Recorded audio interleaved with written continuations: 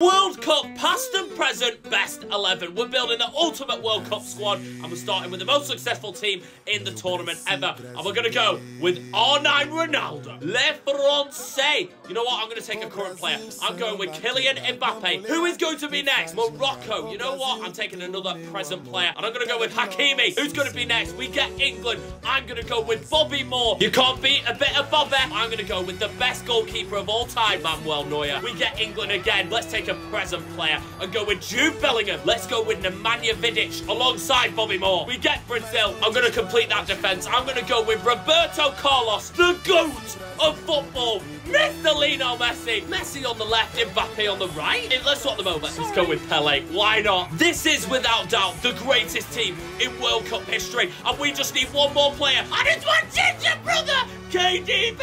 Make sure to like and to subscribe if you think this team could win every World Cup.